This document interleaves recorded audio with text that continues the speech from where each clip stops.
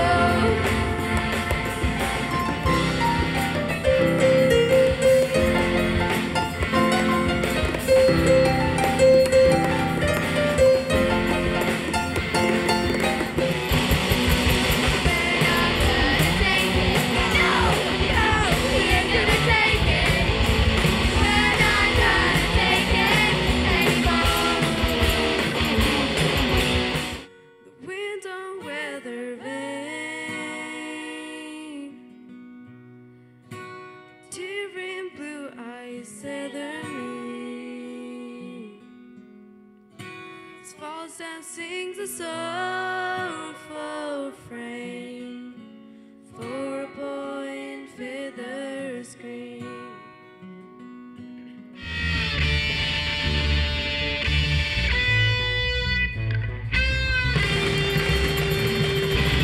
Pimps off a sister to the shindig. Chopped off he says I'm gonna win big.